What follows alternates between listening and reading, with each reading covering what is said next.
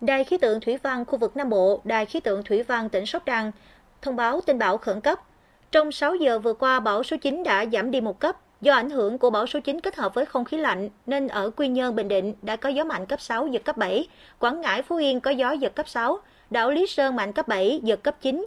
Ở khu vực từ Quảng Nam đến Khánh Hòa đã có mưa vừa mưa to, có nơi mưa rất to. Hồi 13 giờ ngày 19 tháng 12, vị trí tâm bão ở vào khoảng 14 độ Vĩ Bắc, 110 độ Kinh Đông, cách Bình Định Phú Yên khoảng 200 km về phía đông, cách đảo Lý Sơn Quảng Ngãi khoảng 280 km về phía đông nam. Sức gió mạnh nhất vùng gần tâm bão mạnh cấp 14, tức là từ 150 đến 165 km một giờ, giật cấp 17, bán kính gió mạnh từ cấp 6, giật từ cấp 8 trở lên khoảng 200 km tính từ tâm bão. Dự báo trong 24 giờ tới, bão di chuyển theo hướng Bắc Tây Bắc, sau đổi hướng Bắc Đông Bắc, mỗi giờ đi được 15 đến 20 km.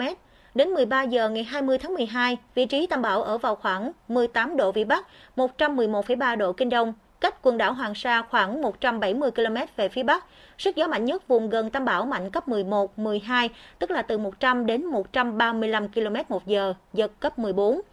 Vùng nguy hiểm trên biển, ven biển trong 24 giờ tới, gió mạnh từ cấp 6 trở lên, giật từ cấp 8 trở lên, từ vĩ tuyến 11,5 đến 20 độ Vĩ Bắc, phía Tây kinh tuyến 113,5 độ Kinh Đông.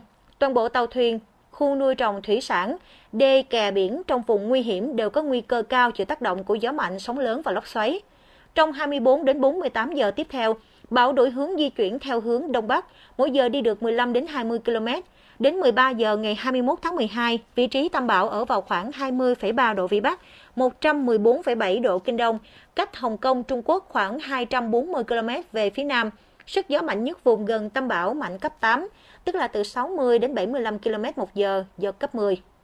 Vùng nguy hiểm trên Biển Đông trong 24 đến 48 giờ tiếp theo, gió mạnh từ cấp 6 trở lên, giật từ cấp 8 trở lên.